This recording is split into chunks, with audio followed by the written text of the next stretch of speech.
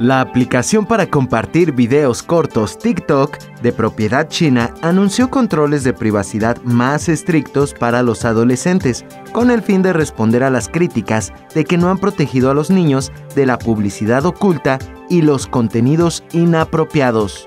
Propiedad de la empresa china ByteDance, TikTok ha crecido rápidamente en todo el mundo, especialmente entre los adolescentes. Sin embargo, una serie de incidentes han suscitado preocupación por sus políticas de privacidad y seguridad.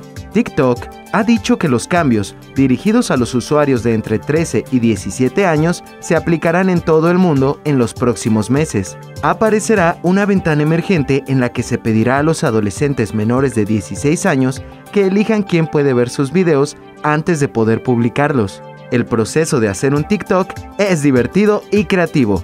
Elegir la música, escoger los efectos y conseguir las transiciones correctas. Pero es igual de importante elegir con quién se compartirá ese video, dijeron en un blog la jefa de política pública de seguridad infantil de TikTok, Alexandra Evans, y su jefe global de privacidad, Aruna Sharma.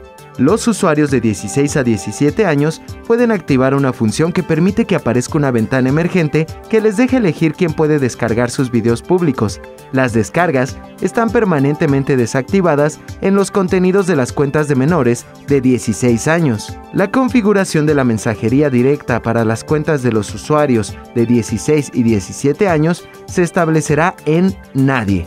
Los usuarios pueden cambiar la opción. TikTok dijo que reducirá el periodo de tiempo durante el cual los menores de 18 años reciben notificaciones instantáneas. Los que tengan entre 13 y 15 años dejarán de recibir notificaciones instantáneas a partir de las 9 de la noche, mientras que los de 16 y 17 años lo harán a partir de las 10 de la noche.